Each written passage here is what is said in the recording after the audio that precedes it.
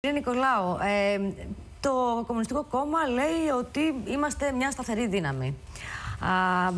Ερμηνεύοντας έτσι τα ποσοστά που πήρε από τις ευρωεκλογές. Ε, ωστόσο, βλέπουμε ότι παρά την ε, ήττα του ΣΥΡΙΖΑ, δεν επιλέχθηκε ως εναλλακτική λύση το Κομμουνιστικό Κόμμα. Αντιθέτως, το σώμα κινήθηκε προς τα δεξιά. Για ποιο λόγο δεν εισπράξατε αυτή την αντίδραση, δεν μετα, μετακινήθηκε, μετακινήθηκαν οι ψηφοφόροι προς το δικό σας κόμμα. Θα σας απαντήσω αμέσως. Επιτρέψτε με ένα σύντομο σχόλιο. Γιατί αυτονόητο δεν είναι μόνο το ζήτημα της ασφάλειας που βάζουν εδώ οι συνοπηλητέ. Στο 2019 είναι πολλά πράγματα που θα έπρεπε να είναι αυτονόητα.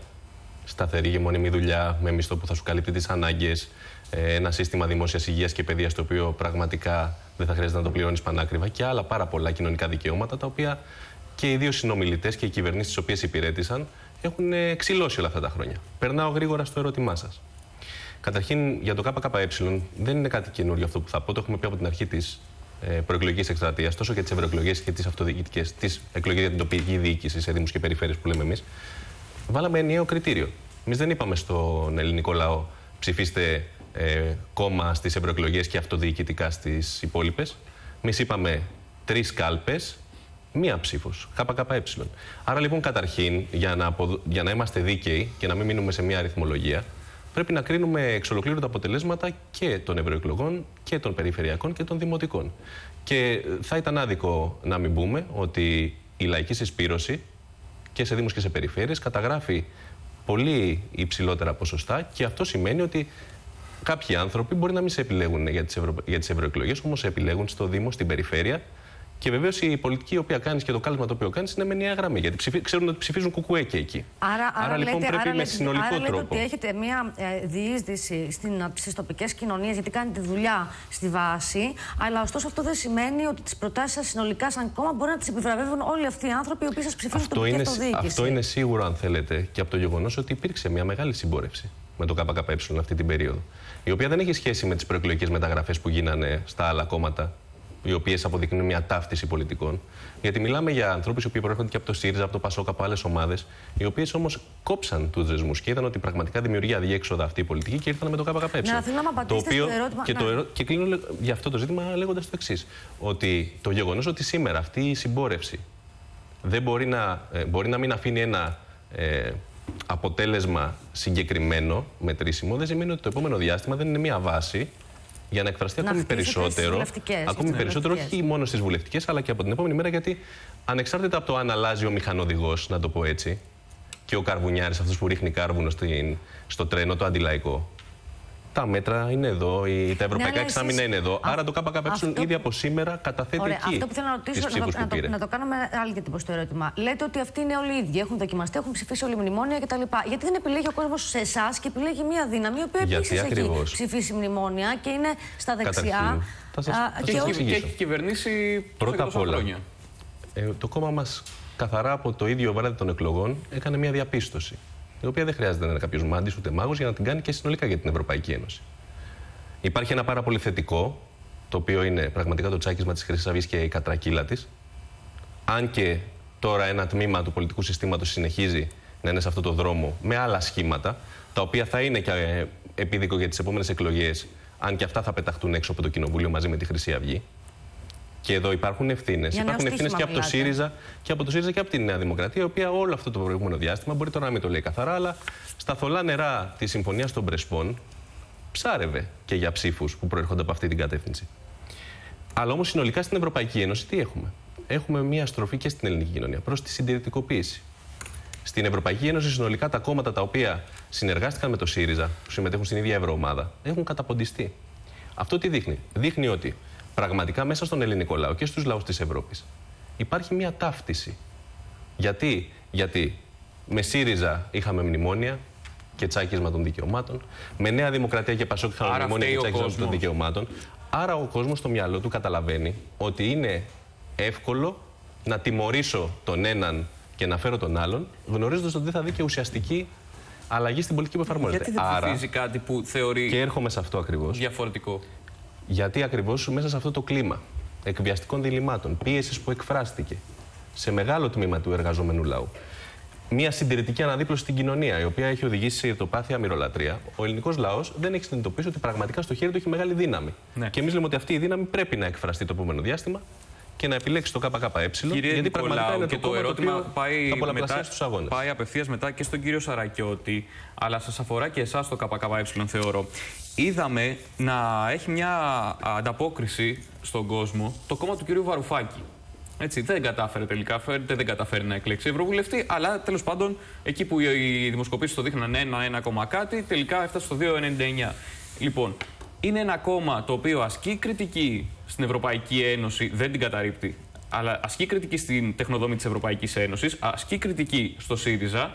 Είναι ένα κόμμα που τοποθετείται στην αριστερά, αλλά είναι ένα κόμμα που λέει ότι δεν πάμε τώρα για, για, ρήξη. και επανάσταση, αλλά πάμε για, προτείνουμε ένα εναλλακτικό μοντέλο εντός Ευρωπαϊκής Ένωσης. Και φάνηκε ότι έναν κόσμο, ένας κόσμος το άκουσε αυτό το πράγμα. Έτσι. Άρα, μήπως συμπληρωματικά σε αυτό που λέτε, στις, ενώ στις αυτοδιοικητικές εκλογές που υπάρχει ο κ. Πελετήδη, υπάρχουν παραδείγματα ανθρώπων από το Κομμουνιστικό Κόμμα που έχουν κάνει έργο και επιβραβεύονται γι' αυτό. Όμως σε, στι ευρωεκλογές σου λέει ναι, θα πάω να ψηφίσω το βαρουφάκι που λέει κάτι που μου φαίνεται λίγο πιο κοντά σε αυτό που συμβαίνει. Ο ελληνικός λαός έχει πολλά πρόσφατα παραδείγματα και έχει εμπειρία μεγάλη από τέτοιου είδους πολιτικές δυνάμεις, οι οποίες εμφανίζονται στην πολιτική ε, σκηνή και κατά την άποψή μας εμφανίζονται ακριβώς για να πάρουν μια ψήφο διαμαρτυρίας και σαν ανάχωμα, αν θέλετε, για να μην περάσουν και το σκάμα. Γιατί η ψήφος στο ΚΚΕ σημαίνει πολλά πράγματα. Σημαίνει αμφισβήτηση της πολιτικής που μας έφερε μέχρι εδώ. Σημαίνει έκφραση ότι δεν αποδέχομαι το μονόδρομο της Ευρωπαϊκής Ένωσης. Σημαίνει να ταχτώ, να μπω, να παλέψω για τα δικαιώματά μου. Έτσι. Και το προηγούμενο διάστημα εδώ υπήρχε και το ποτάμι, υπήρχε η Ένωση Κεντρών. Και δείτε τώρα πού βρίσκονται αυτές οι πολιτικές δυνάμεις. Άρα λοιπόν εμείς λέμε ότι πάντα θα υπάρχει μία λιγάκι πιο εύπεπτη λύση που θα παρουσιάζεται μπροστά στον ελληνικό λόγο και σε κάθε λόγο, γιατί δεν είναι ίδιο τη ελληνικής πραγματικότητας. Αλλά πραγματικά, γιατί το σχέδιο είτε είναι του ενός διεκδικητή, είτε είναι του άλλου, είναι κοινό για το πώς θα προχωρήσει η χώρα αυτά. Και θα προχωρήσει με ένταση της εκμετάλλευσης, με βαριά μέτρα και εφαρμοστικούς νόμους και ευρωπαϊκά εξάμενα τα οποία θα ισχύουν. Άρα, πραγματικά αυτό που κατά την άποψή μου πρέπει να επιλέξει ο ελληνικός λαός και ήδη από την επόμενη μέρα θα έχει αποτελέσματα, είναι να ενισχύσει εκείνη τη δύναμη που θα βρεθεί στο πλάι του Μάλιστα. Και θα πολλαπλασιάσει Πάμε στα αποτελεσματικέ εκλογές. Κύριε Νικολάου, έρχονται εθνικές εκλογές. Να πούμε ότι το Κομμουνιστικό Κόμμα, σε συνέχεια αυτών που λέγαμε πριν, ότι δεν, έχει, δεν φαίνεται ότι α, στρέφονται σε αυτό α, άνθρωποι που ενδεχομένως είναι απογοητευμένοι από το ΣΥΡΙΖΑ ή τη Νέα Δημοκρατία. Με τι πρόταγμα μπαίνετε στις εθνικές εκλογές, Δηλαδή, πώς αυτό το πράγμα θα μπορεί να πάει παρακάτω, πώς μπορείτε να, να σας ακούσουν περισσότεροι άνθρωποι; Καταρχήν, το πρόταγμα στο οποίο, με το οποίο μπαίνουμε εμείς στις ε, εθνικές εκλογές που έρχονται είναι το ίδιο με το οποίο μπήκαμε και στις ευρωεκλογές και στις αυτοδιοικητικές. Αυτό που πραγματικά χρειάζεται να σκεφτεί ο ελληνικός λαός, γιατί τώρα έχει δοκιμάσει τα πάντα. Είναι αν θα συνεχίσει. Αυτό που λέτε τώρα, καρμπόν θα μπορούσε να έχει υποθεί πριν πέντε ναι, χρόνια. αλλά κοιτάξτε να δείτε. Κοιτάξτε να δείτε. Πριν τρία χρόνια. Στις εκλογές η συζήτηση δεν γίνεται επί τη βάση των αναγκών και των σύγχρονων δικαιωμάτων. Ακούσατε και τους προλαλήσαντες. Εντάξει, Έρχεται ανάπτυξη, λέει ο ένας, θα κάνουμε μέτρα, λέει ο άλλος, θα αναλλάξουμε κάποια πράγματα. Εγώ δεν είδα να αναφέρει κάποιος. Θα αυξηθεί στα προκρίσεις επίπεδα ο βασικός μισθός. Θα επιστραφούν. Προκρίσεις δεν ήταν όλα καλά, έτσι. Όχι, δεν ήταν όλα καλά. Και εμείς, αν θυμάστε τη δεκαετία του, του 2000, πριν αρχίσει η κρίση, μιλάγαμε για 1200 ευρώ κατώτερο μισθό.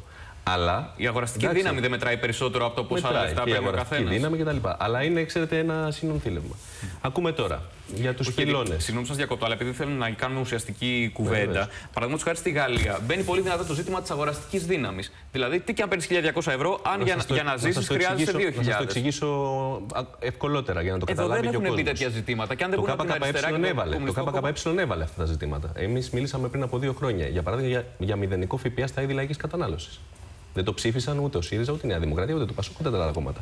Ναι, τώρα Αυτό είναι μια βασική. Μείωση είναι μια βασική. Στα τρόφιμα. Πρώτα αυξήθηκε, μετά έπεσε εκεί που ήταν, στα προηγούμενα επίπεδα. Δηλαδή έπεσε. Αυτό είναι η πραγματικότητα. Όμως το θέμα είναι το σχέδιο το οποίο προτείνει και ο ΣΥΡΙΖΑ και η Νέα Δημοκρατία, για να τα λέμε καθαρά τα πράγματα, είναι ένα και ενιαίο. Είναι αυτό το οποίο θα ανεβάσει το όριο συνταξιοδότησης στα 69 και στα 72 χρόνια, γιατί αυτή είναι αυτά που έχουν στηρίξει την Ευρωπαϊκή Ένωση. Είναι η πολιτική η οποία συρρήκνωσε και έχουμε πέντε νοσοκομεία κεντρικά στην Αττική, για παράδειγμα. με ό,τι αυτό λέτε ότι είναι το ίδιο σύστημα των τριών πυλώνων και αυτό που υπερασπίζεται η κυβέρνηση σήμερα. Ότι καταλήγουν στον ίδιο παρονομαστή, εννοείται; Στον ίδιο. Το έχουμε πει και μπροστά στις ευρωεκλογές και πρέπει να το αναδείξουμε και ξανά. Το διπολικό σύστημα θέλει δύο πόλους για να παιχτεί. Το σύστημα δεν έχει λόγο να έχει ένα κόμμα ή δύο που θα είναι ακριβώς ίδια. Έχουν αποχρώσεις βεβαίως. Όμως η πολιτική, η οποία είναι η πολιτική την οποία αποφασίζει και συνενεί κάθε κυβέρνηση στην Ευρωπαϊκή Ένωση, έχει συγκεκριμένη κατεύθυνση. Και είναι ακριβώς αυτός ο ευρωπαϊκός πυλώνας. Το οποίος φορτώνει ακόμα περισσότερα βάρη για την ασφάλιση, για την υγεία στον εργαζόμενο και ταυτόχρονα ιδιωτικοποιεί και το σύστημα. Άρα λοιπόν, εμείς πρέπει να σκεφτούμε. Και αυτό είναι το νέο στοιχείο, αν θέλετε, που θα βάλουμε μπροστά σε αυτές τις εκλογές. Όποια και αν είναι η επόμενη αντιλαϊκή κυβέρνηση που θα προκύψει, ο λαός μας τώρα έχει πλούσια εμπειρία. Τα βήματα συμπόρευσης που έχουν γίνει με το ΚΚΕ το προηγούμενο διάστημα και μέσα στο εργατικό κίνημα στους χώρους δουλειάς και όπως αυτά εκφράστηκαν και μπροστά στις ευρωεκλογές τι τοπικές και τις και τις περιφερειακές, μπορούν να μετατραπούν πραγματικά και να δώσουν δύναμη στο ΚΚΕ έτσι ώστε να είναι πραγματικά η λαϊκή αντιπολίτευση απέναντι στα μέτρα τα οποία θα συνεχίζουν να έρχονται. Γιατί κανείς από τους δύο βασικούς διεκδικητές δεν πάει κόντρα ούτε στα ευρωπαϊκά εξάμεινα.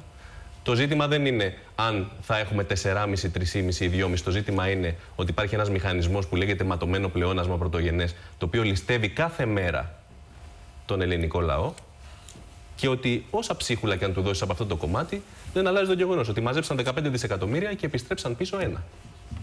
Τα οποία αν δεν τα είχαν πάρει εξ αρχής, να το πούμε γι' αυτό, ο ελληνικός λαός θα ήταν, μπορεί να μην τα είχε στην τσέπη με την έννοια του μισθού, αλλά θα τα είχε σε κοινωνικά δικαιώματα, θα τα είχε στην υγεία, στην πρόνοια, στο ύψος του κόστους των φαρμάκων. Και όλα αυτά πρέπει να τα σκεφτεί ο ελληνικός λαός και να κάνει το βήμα. Γιατί έχει δύναμη στα χέρια του, την οποία πρέπει να τα αξιοποιήσει.